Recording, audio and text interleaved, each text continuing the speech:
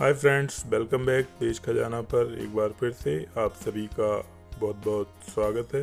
तो साथियों आज हम लेकर आए हैं आपके लिए एक बहुत ही सुपर हेल्दी और टेस्टी रेसिपी मोरिंगा यानी सैजन की सब्ज़ी। ये बहुत ही हेल्दी और कई प्रकार से हमारे लिए उपयोगी होती है।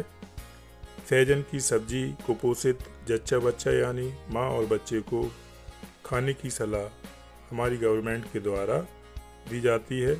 और कई प्रकार से अभियान चलाकर जो जच्चा बच्चा हैं कुपोषित, उनके लिए इस सब्ज़ी को उपलब्ध कराया जाता है, यानी सहजन और मोरिंगा को उपलब्ध कराया जाता है। तो ये बहुत ही टेस्टी होती है और आज हम इसको एक बहुत ही अलग तरीके से और बहुत ही हेल्दी बनाने वाले हैं। तो इसके लिए यहाँ मैंने 500 ग्राम मोरिंगा की फलियाँ ले लिए हैं और इनको छोटे छोटे टुकड़ों में काट कर इनके ऊपर का छिलका अच्छे से निकाल लिया है। अब एक कढ़ाई में करीब 70 से 80 एम तेल मैंने ले लिया है और इस तेल को अच्छे से गर्म कर लिया है। जब तेल अच्छे से गर्म हो जाए तो इसमें राई और जीरा का हम तड़का लगा देंगे। साथ में दो छोटे से टुकड़े दालचीनी के, थोड़ा सा छबीला एक चक्रफूल और लौंग, इलायची और जावित्री का हम इसमें तड़का लगा देंगे। इससे हमारी जो मोरिंगा की सब्ज़ी है, इसका फ्लेवर एक अलग ही तरीके का बनेगा। तो इस प्रकार से हमने जो भी खड़े मसाले थे, उनको कढ़ाई में डालकर इनको थोड़ा अच्छे से चम्मच की सहायता से चटका लेंगे। आप चाहें तो चक्रफूल, छबीला इनको बाहर भी निकाल सकते हैं। और अब इसमें डाल देंगे हम आठ से दस लहसुन की कलियाँ, बारीक कटी हुई और दो से तीन हरी मिर्च के बारीक कटे हुए टुकड़े। और इनको अच्छे से फ्राई कर लेंगे। जब हमारी लहसुन अच्छे से गोल्डन ब्राउन हो जाएगी तो हम अपनी प्याज बारीक कटी हुई, जो कि एक बड़े साइज़ की प्याज मैंने ली थी, इसको हम अपने तड़के में डाल देंगे। और प्याज अच्छे से कैरेमल हो जाए, अच्छे से गल जाए, इसके लिए हम प्याज में यहीं पर थोड़ा सा नमक और यहीं थोड़ा सा होममेड गरम मसाला मैंने इसमें प्याज के साथ ही ऐड कर दिया है। हमारी प्याज अच्छे से भुन चुकी है। इसका अच्छा गोल्डन ब्राउन कलर हो गया है और अब यहाँ पर मैंने हल्दी पाउडर,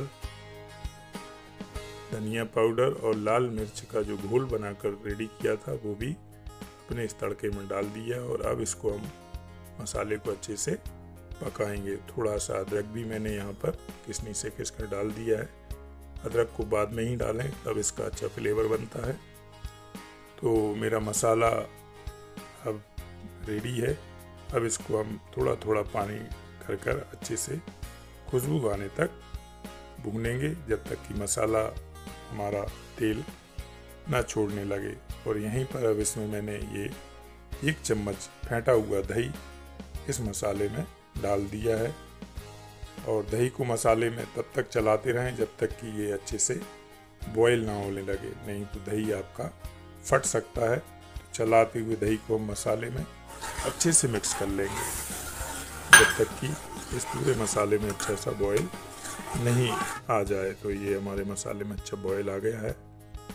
और यहाँ पर मैंने थोड़ी सी कसूरी मेथी यहाँ पर अपने मसाले में ऐड कर दी है और अब चलाते हुए इस मसाले को हम करीब आठ से दस मिनट तक भूनेंगे। तो इसका एक अलग ही फ्लेवर हमारी जो मोरिंगा की सब्ज़ी है, उसमें आएगा।